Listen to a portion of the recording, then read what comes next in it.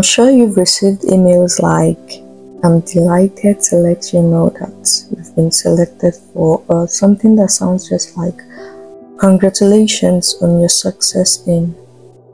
Definitely, that is good news, and you know, smiles and shouts of joy will most likely come next after reading such emails. Not to talk about when you have been waiting on God for such a long period for a breakthrough but what happens after a long and seemingly unending period of waiting, with no proof to show, with no congratulations, with no I'm delighted to let you know?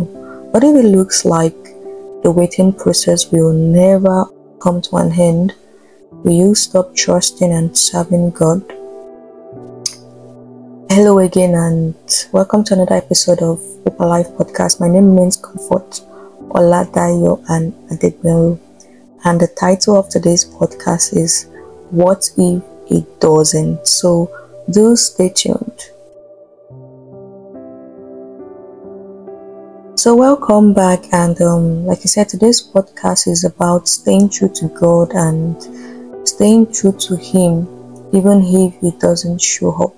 So picking up from the statement even if he doesn't show up, do you really think God will not show up.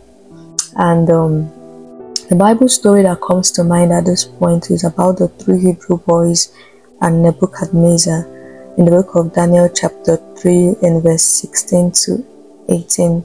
The New King James Version says, Shadrach, Meshach, and Abednego answered and said to the king, O Nebuchadnezzar, we have no need to answer you in this matter.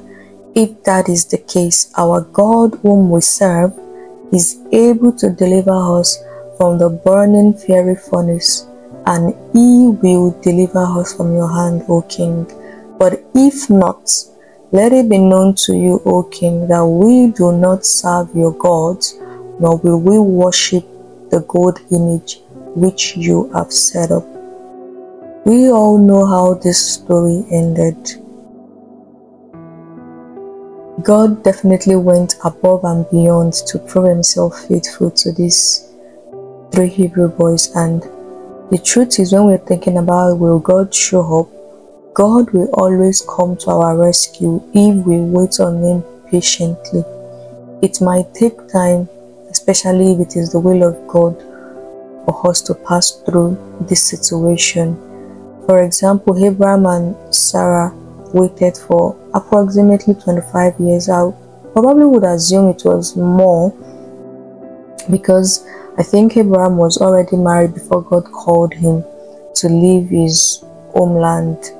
But then, in the end, Isaac, the promised child, came. What if God doesn't show up to deliver us?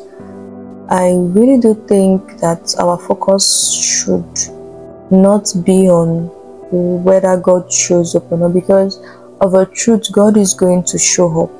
But our focus should rather be on what if we give up during the period of waiting. That sounds really scary because it could just be one day, 11 hours, even few minutes to your breakthrough. So what if we give up during the period of waiting? But God forbids.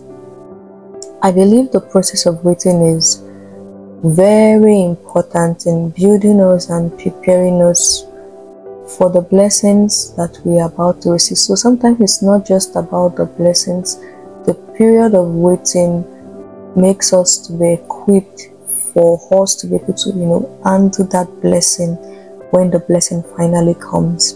In the book of Romans, chapter 8 and verse 28, it says in the Amplified Version, We are assured and know that God, being a partner in their labor, all things work together and are fitting into a plan for good to and for those who love God and are called according to his design and purpose.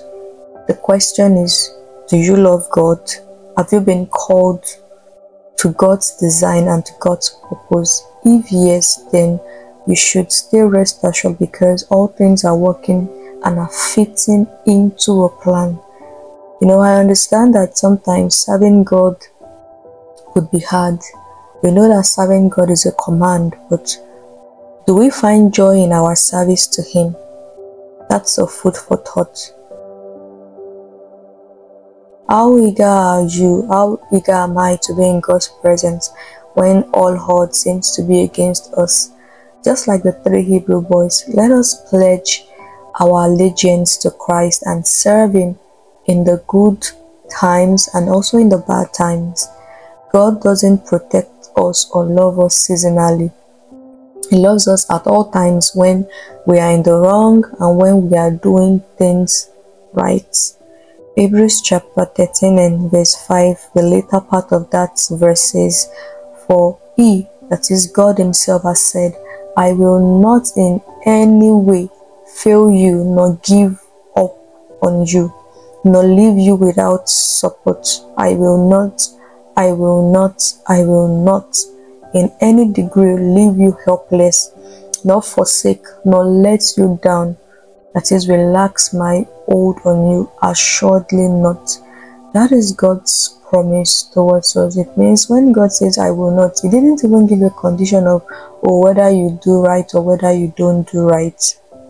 We are sure that God will always be for us, always be by our side. And 1 Corinthians chapter 10 verse 13b also says, But God is faithful to his word and to his compassionate nature that he can be trusted not to let you be tempted and tried and assayed beyond your ability and strength of resistance and power to endure. But with the temptation, he will always provide a way out the means of escape to a landing place that you may be capable and strong and powerful to bear up under it patiently. I believe that whatever you are facing now, it might look like God is not going to deliver you from it, but Bible tells us and assures us that God will not allow us to be tried beyond what we are capable of he will not allow us to be tried beyond our ability and strength of resistance. He will not allow us to be tried beyond our power to endure. And in every of this trial, He will always provide a way of escape so that in the midst of it, we are capable and we are strong enough to bear up under it patiently. God has therefore assured us that He won't give up on us. So, what about you and I? Are we committed to representing God when it seems like He is not showing up? As you start this new week, think about why you serve God. Are you serving God for your needs or are you serving God out of true reverence for Him? I want you to constantly remind yourself also of the gift of salvation and how God has stayed by you. And as you, you know, remember these things and brood on them, rejoice, rejoice, and again I say rejoice in the Lord. Now I want you to pray this prayer with me, saying, Thank you, Lord, for being true and faithful. Renew my hope in waiting periods and help me trust you in all situations. Thank you, Lord, for being true and faithful. Renew my hope in waiting periods and help me trust you in all situations. Amen. The song of the week I'll be leaving you with is Waited by Travis Greene. Even as you are in this period where it seems like God is not showing up on you, instead of mourning, instead of being sad, why not rejoice and think of and remember how God has saved you, how He has brought you and delivered you from all forms of destructions previously, and give your thanks and offer your praise to Him. Do remain blessed until we meet. Do stay comforted. Have a blessed week. Bye.